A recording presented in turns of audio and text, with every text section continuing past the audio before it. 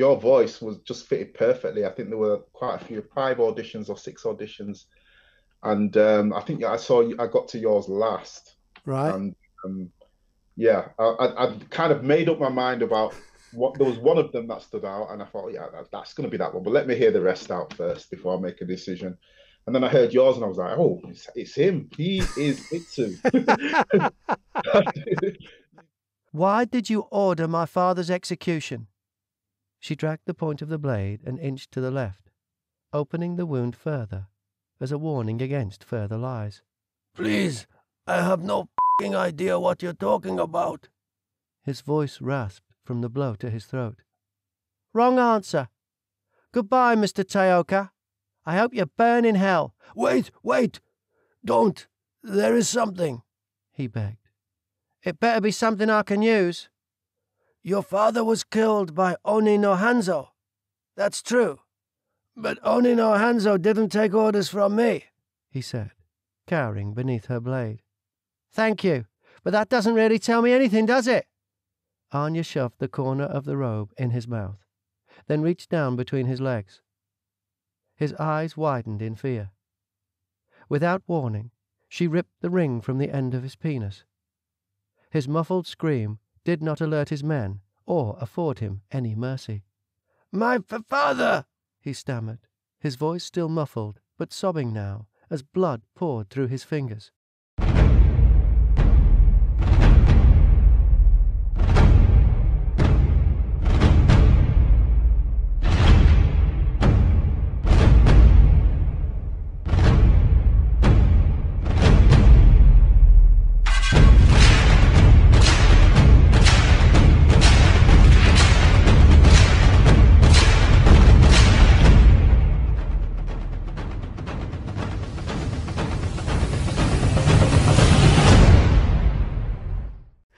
Right, well, let's go back to the beginning then. Growing up in Leeds, for people who are watching from outside the UK, Leeds is in Yorkshire, uh, the north of England. It's got, um, I'd say, it's got a, a, more industrial working class kind of identity. Whether you know that's true today, but I think that's that's the heritage of Leeds. What was your upbringing like? Uh, it was it was very different. Um, I I grew up in in the Thatcher era, so um, the country was a totally different place. It was in transition, I guess, at that, that in that period. Um, it was it was interesting. It's it's uh, I, I love Yorkshire. It's, it's it's I'm I'm proud to say that I'm I'm from that part of the world, and uh, I'd, I'd I'd encourage anybody who who visits the UK to to go to that part of the world. And and Leeds, for me, um, made me the man I am. Um, you know, it's a it's a the, there was there a different bunch to the people down here in the south. There is a, a north south divide, I would say. It's very true. Um, the sense of humour um, is is one thing I miss. That you, you can't beat the Yorkshire the Yorkshireman's sense of humour. Um, it's slightly different humour down here. So um, growing up there was yeah, it was it was wicked. Yeah, I, I loved. And it. what did your parents do for a living? Um, my parent, my mum was in retail and my dad was in finance um, when I was younger. Um, but he's gone on. He's gone on to do a lot of other ultra um, entrepreneurial stuff. Um, he, he, used to run uh, a hotel in Ethiopia, actually. Wow. Um, yeah, and um, he's now he's now. I'm not sure what he's doing now. To be honest, he's reading your book. That's what he's doing right this second. That's definitely what he's doing. So, um, you you you grew up in in Yorkshire typical upbringing and you were reading books, I'm guessing. What kind of stuff were you reading?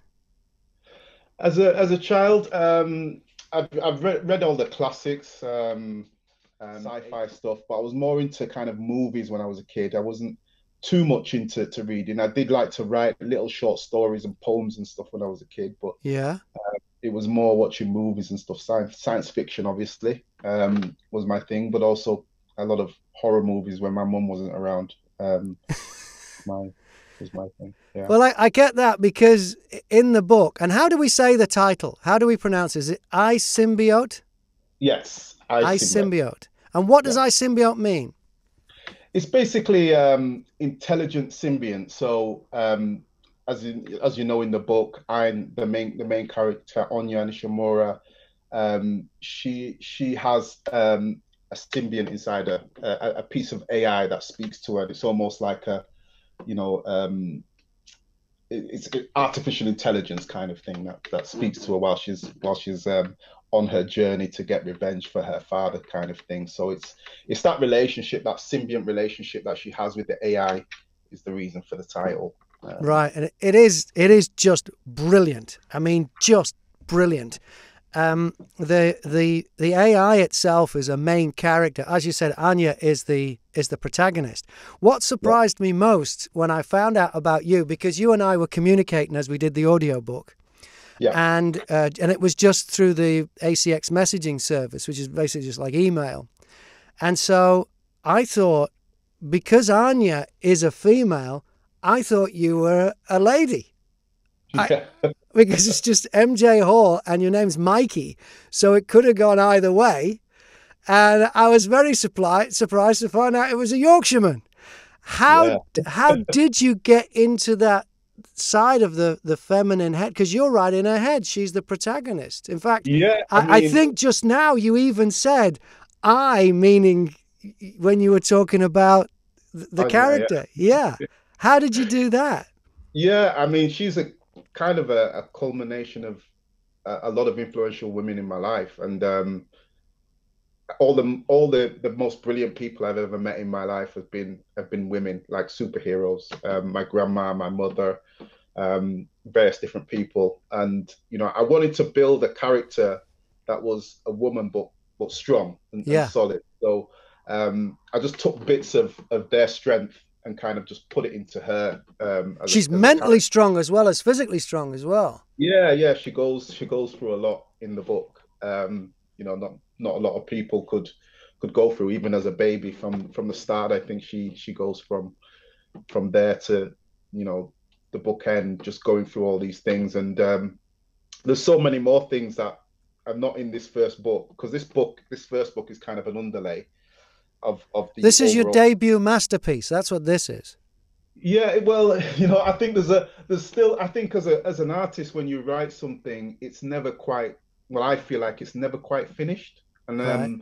even when I read it now, I, am like, oh god, you know, why, why, didn't I say this or write it this way or do that? And it's just an an endless task of of writing um, editing. Like the editing never stops. I could still edit that thing right now. I, I, was editing it for two years, and uh, I still feel like it's it's not been done. And I've had various different people edit it for me and stuff like that. And yeah, it just, I mean, it just it's a continuous uh, process because I, I think as I go through life and my mindset changes, and the more things I learn, the more the world that I've built for Anya and the characters that changes as well. So um, I could yeah, I could write that thing until the day I die. I think I could continue to add to it and write it, um, you know, all day long.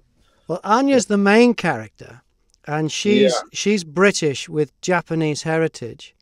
Yeah. And the other main character really is Itsu, is the is the AI that's that's inside her and, and talks to her. Yeah. Uh, what was the inspiration for, for Itsu? Because Itsu also narrates the book. Um, well narrate yeah narrates the book. And of course so when i did the audio book i had to be itsu to, yeah, to, so i i took a kind of a, an, an innocence uh, for him and and and used a lot of data from star trek if that makes sense. Is that yeah. was that an influence? In a way um the, the a lot of the technology and obviously yeah the his mannerisms i guess um uh, influenced by data because I, am a big Star Trek fan as well. So um, yeah, that was a, that was a huge influence. Um, another one from Star Trek was I, I, don't know if you've watched Voyager, where the Doctor is actually a hologram. Um, no, I haven't. Oh, I see. The, so yeah, oh, right. Right. Yeah. So he's actually yeah, he's, he's got this kind of mobile emitter. Right. On his shirt, and when he when he um, presses it, it kind of he comes in kind of a solid form, but he's a hologram, if if you know what I mean. Right. Um, so uh, the the actual appearance came from him, and the the mannerisms and the way he is came from a mixture of data and a little bit of um, Spock, in a way. Yes. You know, Yes, that's right. Yeah, slightly confused about humans because they're very illogical. Yes, I get that Yeah. now as well. Yeah, I think though I, I see that. I definitely see that.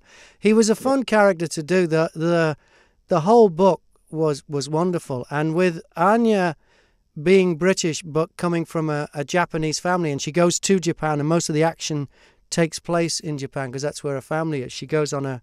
I don't. I don't want to say too much because I don't want to spoil it. So let me know if I'm getting too close to the story. But there are a lot of twists in the book. I mean, I was reading it and I thought I'd worked out who the good guys and the bad guys were, and then all of a sudden, wait.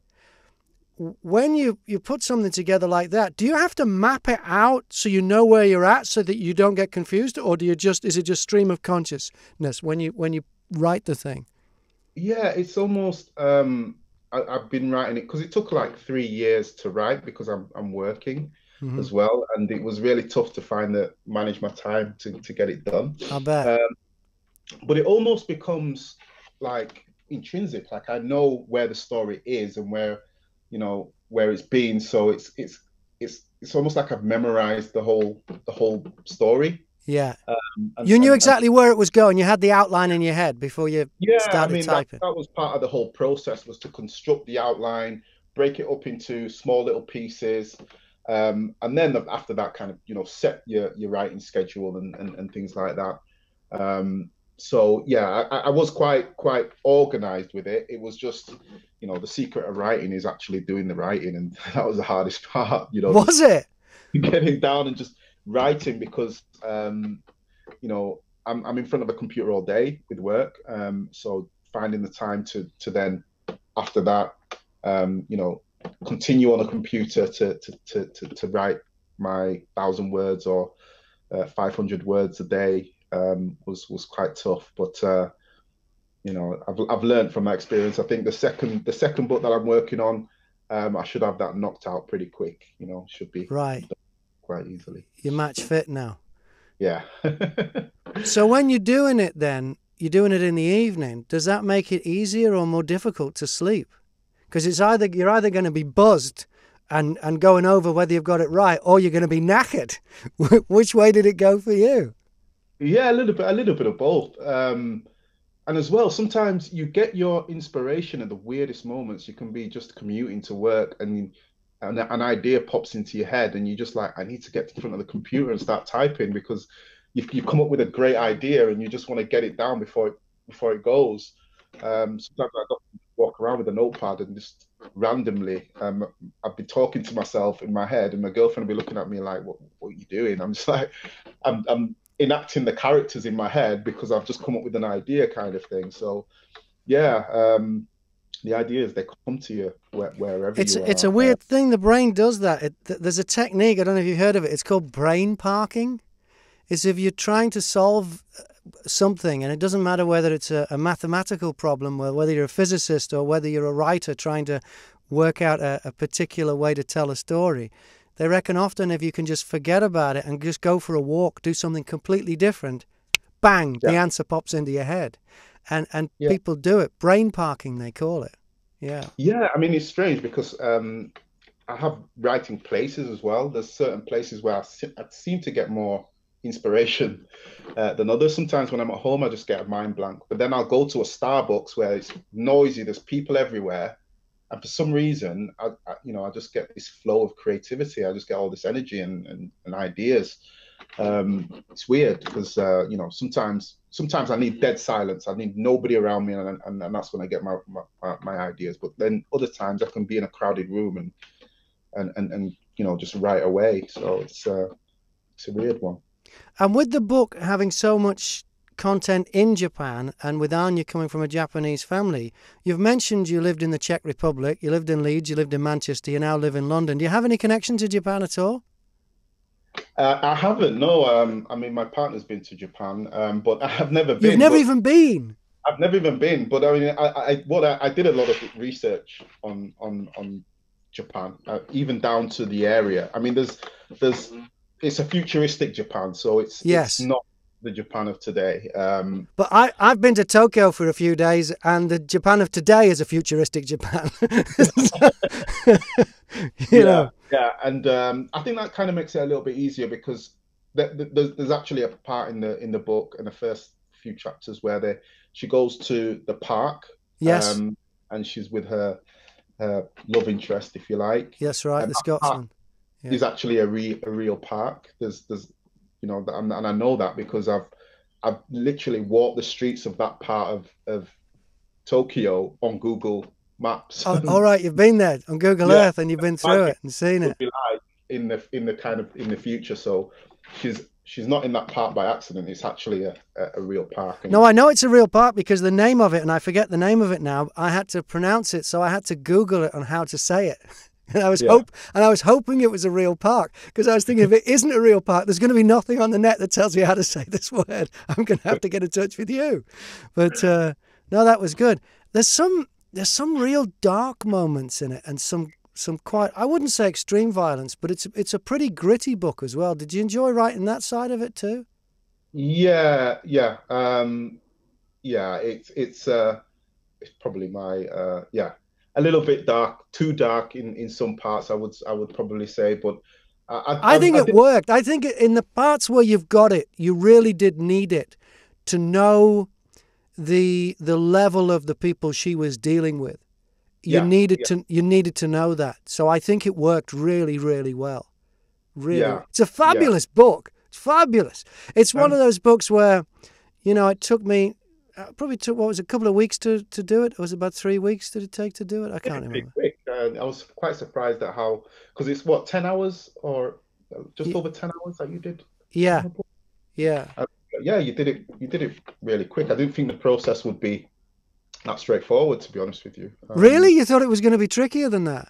Yeah, yeah. I mean, yeah, it was. Uh, it, and and and your and your voice was just fitted perfectly. I think there were quite a few, five auditions or six auditions, and um, I think I saw I got to yours last. Right. And um, yeah, I, I I kind of made up my mind about what there was one of them that stood out, and I thought, yeah, that, that's going to be that one. But let me hear the rest out first before I make a decision. And then I heard yours, and I was like, "Oh, it's, it's him. He is Itsu." you've got you've got the exact voice that I imagine in my head when because the character's obviously real to me. Yes. Um, I hear Itsu speak, that's you. It's uh, exactly how I imagine it. So. Uh, it was it was great to do, and and I was about to say it was one of those books that every now and again that I do that at the end of the day, when I've been recording a piece of it and, and I, I go to bed and I say to my wife, say, listen, listen, and I'll start telling her the stuff that's happened and the, the twists and stuff. And it was one of them. Um, and that's how I know the good ones from the. I've, I've done some really, really nice audiobooks, um, but that's how I know. Because I've done, I think I've done, I counted up the other, I think it's about 62 audiobooks, including wow. yours. Um, wow. But the really good ones, I end up, they stay with me, you know. And I'm glad you, I'm glad you found the process quite because I don't know how other narrators do it. I know some, you basically just hand over the, the the manuscript to the uh, narrator, and yeah. then they hand them back the finished thing. And I'm always, I'm nervous at that. That's why I break it up into those two-hour blocks, and then get you to listen to it and then, because we did have an incident at the beginning, didn't we, where I thought it was set in the US and gave all the paramedics American accents. And yeah. you said, no, no, that's in England, mate. And I had to go back and do them all again. But oh, I'd rather, I'd rather do that than, than, um, than have to do everything all at the end. You know, I'd rather do it as we go. Yeah, yeah. No, it, it, that, I think that helped quite a lot, breaking it up into those those chunks and and and it helped both of us in a way because then when I when you send it over to me, um, there's not so much for me to kind of listen to and um, yeah, there isn't so much for me to correct because it's not always yeah. perfect and uh, and uh, uh, uh, I'm always there was a there was a bit that I think it was when I got near the end or was what there was a I think it was the father character and then it turned out he was in a really earlier scene and I realized I'd, I'd changed the voice halfway through. So I went back and changed them so they were consistent all the way through. Because what I do now is I have an audio file uh, open now. And when a new character arrives in a book, I take the first line they say and store that. Even though I've got them in my head, I have a note with them, you know. And then yeah. uh, I, when I get to them later on, I play it back to make sure that I haven't drifted off the the accent or the voice so it's it stays consistent through the whole book and I keep them. So so if I'm chosen to do the the others you know that the characters will all be exactly the same. No absolutely. I'd love for you to to do this this the um because how how I've got it in my head is that, like um the, the the first book is not actually the the first book. It's almost like a um it's like a like I say an underlay um, there's plenty happens in it though Mykie I tell you yeah. I mean there's a there's a definite beginning, middle, and an end, though. Yeah, yeah, and and and, and the, the next few books, there's going to be a couple of novellas and and a, and a couple of other uh, novels uh, in between the the beginning and the end of the first book. Uh, so that's how it's going to kind of look. It's going to be a whole series filling that gap of the beginning of the the, the uh, original book and the, the end of the original book. So, right. Um, so that's why it's called uh, the Erudite Saga. Is that why? Because yeah, it's a saga. Yeah. And I suppose you can pick up the story anywhere you like. If it's good enough for George Lucas to make th- three prequels after the 1977 Star Wars, I think it's good enough for you. So you could jump in anywhere, couldn't you? You could even yeah. take other characters, um, yeah. I mean, and, the, and the give and tell their story.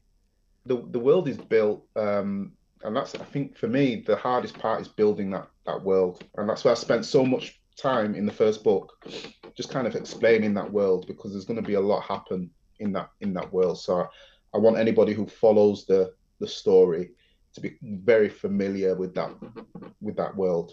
Yeah, um, and it, I mean it's great if anyone's a sci-fi fan. Obviously, they're going to love it. But if someone is not necessarily in, necessarily into the, the genre of sci-fi, they should check it out too because it's just a damn good story. It's just yeah. a ripping yarn, and it moves at such a pace. I don't think there's a flat spot anywhere in it. It just keeps going. I mean, we we mentioned how it's about ten hours long, the audio version, but don't let that put you off. That it just it just keeps on going and then it'll it, and it'll move to another country very fast and then there'll be something go on there and then bang and then it, it moves at a hell of a pace at the pace of of of a James Bond film I would you know that that pace and the moving for the locations and different things happening and then another character coming in and then you know a villain and then bang bang bang bang bang bang it just is yeah. great it's, it's really good to hear you say that. I mean, I, I, one of my worries was um, that the reader wouldn't be able to follow the story because I, I did it's it not only time jumps but it place jumps quite a bit. Yeah yeah. So it, there's a lot there's a lot to kind of follow um, and it was really tough. Being my first kind of not my first book because I've written quite a few it was just my first attempt at a published book and I just wanted the reader to be able to to, to kind of follow where I was trying to go with it. So it's uh, it's good to hear you say it's uh, just it's just a great book. It's a great book, and if you'd like to get it for free, you get you can sign up to a three a free thirty day trial with Audible, and you first you know it's it's free 30 day trial. And if you go to the, the the link down there not only will you find mj hall's website there's also a link there to uh, audible to where you can sign up to get the 30 day trial for free and you can get the book for free and you know and you don't have to but it'd be nice if you left a nice review if you enjoy it you know um, that would be good. So hey great to finally meet you because this is the first time you know I, all this time i thought you were a girl so apologies for that. But that actually shows you what a great writer you are. Just how you got in the in the characters the the character's headspace totally. You were just totally immersed in it and, and totally fooled me but it's by M.J. Hall. It is I Symbiote. It is an erudite saga, and it's Erudite Saga Book One. You get it at Audible, you get it as Amazon, you get it on iTunes as the audiobook. It's out as an ebook as well, too, isn't it? It must be. That's right. Yeah. Yeah, get it as an ebook. Is is it on paper too? Paperback, yeah.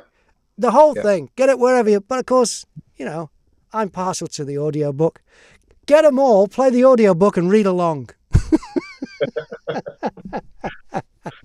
Mykie, thanks very much and continued success. No, no worries. Thank you for having me.